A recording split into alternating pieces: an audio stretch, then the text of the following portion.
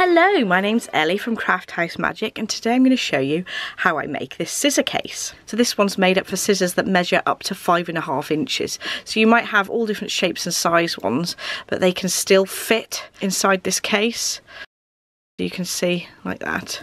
So there's a number of pairs of scissors that I sell in my shop but as long as your scissors measure um, no longer than five and a half inches it will fit this particular case. I'll pop a link to any of the things that I show on the screen in the description bar down below. This case you can see that there's a place to put scissors at the back. Here I've got a um, cable needle as well popped in there to use. There's an extra pocket at the front. I've popped some needles just in through the fabric so that I can use those for sewing ends in with my knitting and I've just pinned some bolt pins to the top there so I use it as a nice little kit to keep all my things together for sewing in ends in a knitting project but you could use it as part of your sewing kit as well. So this one's got a buttonhole on the top, but I do have an example where I've done a loop as well. I made this absolutely years ago and I just stitched a little loop there so that I could secure it to the front but you could also use a press stud on the top as well if you don't like doing buttonholes or loops. This size is a six inch square that is made for up to five and a half inch scissors. And this one here, I've actually made with a nine inch piece of patchwork for the top. And the scissors that fit in this one are eight and a half inches. So that's an eight and a half from top to tip. And then if you're going to do a scissor case for scissors that are 11 inches long you want to cut an 11 inch square so hopefully you'll be able to adjust this to whatever scissor size that you have but I'm going to show you do these ones. You can fit ones that are quite a lot less in, so it doesn't have to go right to the end. So if your scissors are a little bit shorter, that's absolutely fine as well. So to make this, you need some six and a half inch squares. So you need one for the lining, one for the outside material, and also you need some wadding as well. So I'm using some soft and bright wadding here, which is a polyester wadding. It's nice and light and easy to use, and you can also wash it as well. And I've cut these pieces out ready to use. I will be producing some kits for these, and I will leave links to those below, and they'll be in the fabrics just here. If you want some fabrics that are also on my website but not available as kits yet, just drop me a message and I'll make those up for you. So you pop your outer fabric on top of your wadding square and then place your lining fabric on top of that. So what you want to do here is make sure if your fabric is directional that you make a note of which is the bottom of the pattern so that you can leave the gap where you're going to sew round at the bottom of the actual print. This one is a sort of multi-directional print, uh, but I think I'll probably leave the gap here because there's a couple of sheep that are this way round, so I'm going to say this is the bottom. So I'll pop that on top of each other, layer it up nicely, try and make sure all three layers are lined up. And I'll pop some pins in each corner. I've just put a green pin at the bottom, so that's the edge. I'm going to leave a gap. And I'm going to put a pin in the other corners as well, just to keep it all together. So the next thing I need to do is stitch around a quarter of an inch all the way around. So I'm going to leave a gap of a few inches open on this side so that I can turn it the right way around. So not going to forget to leave a gap, so I'm going to start about here and then stitch all the way around a quarter of an inch.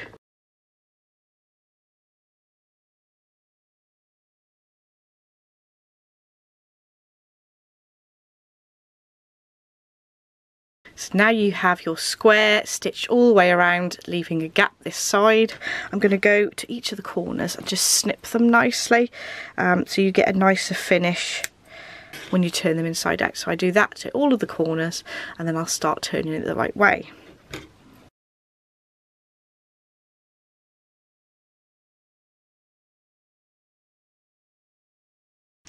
Now I've got it the right way, I'm going to use a pokey tool just to poke those corners out nice and neatly. Um, be careful not to push it too hard because you might break those stitches. Um, but just nuzzle it in nicely and I run the point along the edge of where I've stitched as well because that'll neaten up the end. There we go. I tend to sort of get everything how I want it to be before I take it over to the ironing board, poke that edge in and then I'm just going to give this a nice press um, making sure everything's flat. You don't want to use an iron that's too hot otherwise you might shrink your wadding inside this so be careful with that. Just enough to press all the edges nice and neat. So we're all nicely pressed and we've got the gap at this side here. So I'm now going to stitch an eighth of an inch from the edge all the way down these two sides um, just to be nice and neat. One little tip is that if you feel that you're a bit nervous about getting into this edge and out of it neatly, if you thread a needle and thread, go into the corner and have the thread as a tether and you can guide it with your hands through your machine and then I can hold the corner with that thread so that I've got more control over it. So I'm going to stitch down this edge and this edge um, so that we've got a nice stitch line an eighth of an inch all the way around. So I'm now just at the corner and I've got my thread here that I can use as a guide to hold the back of the work and then I can pull it a little bit as the sewing machine is trying to just get over the edge so you can see that we've got a nice neat corner there because I used that thread to guide me out of it um, just to make sure it's super neat. I'm going to trim my threads and I'm actually going to stitch a buttonhole on this one but you could leave it at this point if you're going to do a press stud or a little tab so I've now stitched a buttonhole on the edge of mine in that corner. So this is the edge that's open and then we've stitched all the way around and stitched a buttonhole. You might want to mark where you're putting your buttonhole, but I've done this so many times I can sort of eyeball where it needs to go. I'm now going to cut open the buttonhole with a clover buttonhole cutter. Um, just be really careful you don't cut the thread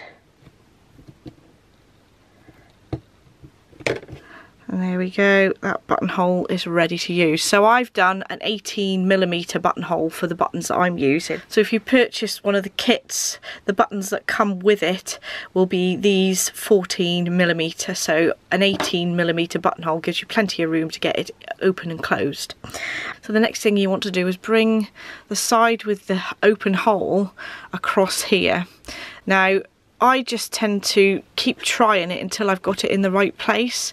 But you want it so when you close over the other side you've got a nice even fold on both sides. And you can play around with it until you're happy with how it looks. But if you did want to measure how far across you needed to leave it, I'm leaving it three and a quarter inches to that edge there and hopefully when I do this it will be three and a quarter inches as well just a little bit over. So you can just fiddle it a little bit. So we've got three and a quarter inches both sides. There we go. So once you've folded that over you can now stitch along this edge with a machine. Now if you're not very confident with the sewing machine because you've got to stitch along this edge and close up that gap at the same time, you might want to hand sew this. Same goes if you don't want to leave a stitch line on the back of your scissor case. If you hand sew this to the inside here, you'll get a nice neat edge as well. So I stitch that one, then close it over and stitch along there so that that's all sewn up and the pockets are made.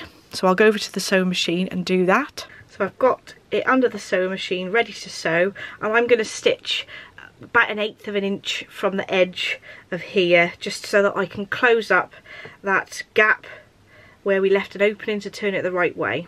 So we have one side completed. I've stitched about an eighth of an inch from the edge there. I've closed up that gap at the bottom. Now it's time to create the second pocket at the front. You can actually do it either side. So sometimes I do it so I'm doing this side first and then that side second. It doesn't really matter. Um, doesn't make a lot of difference. You're still going to have two pockets. So I folded over that carefully and I'm going to do the same. I'm going to stitch an eighth of an inch from the edge here again you might find it easier to hand stitch this edge if you're not used to doing quite accurate machine sewing because um, that could be a little bit less stressful if you prefer doing hand sewing So before I go and sew my button on here, I'm going to get the iron and give it a nice press and get the nose of the iron right into these corners and it makes them really nice and neat. Um, so I'm going to stitch a button on this one, but of course you could do a press stud and I'll show you an example of that in a minute. Now we're all nice and neatly pressed, I'm going to sew the button on. So I've got a, a length of grey cotton um, and I've got it doubled up. I'm just going to do a quilting knot and run the knot at the end um, of the thread. So hopefully you can see that. There's a big knot. I fold this over just to work out where I'm going to put the button. I want it about there. So I'm going to go into the fabric about three times just to secure that thread nicely. And I can trim any threads off just to neaten that off before I put the button on and I like to go three passes um, wherever I go through the button just to give it plenty of thread. There we go. Three times through that way and then we'll go three times through this way. I just wrapped it around the shaft of the button three times and then I'm just going to do a knot a couple of times just to make sure it's secure. And there we are, we have a finished scissor case. So I will be making up some kits in all these different fabrics so that you can have a go as well, which will include the button, the wadding and the fabrics for the inside and outside. And I'll do it so that there's enough to make about six scissor cases. Um, next week I'll be putting a video out on how to make a DPN case and you can use these sets as well to make a DPN case and a scissor case if you want to. So I've got to the point where I've stitched one side down and I've left out the buttonhole at the top here, but I did do the top stitching around the top. So what I'm going to do is I'm going to fold it. So that's how it's going to be when I've stitched it all together. But before I stitch this bit, I'm going to put the flap down and mark where I'm going to have the press stud. So I'm going to mark that point there,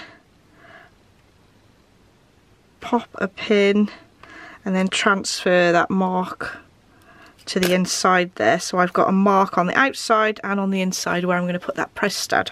So to make a hole where we've marked them, I've got an awl just to make a hole into your fabric.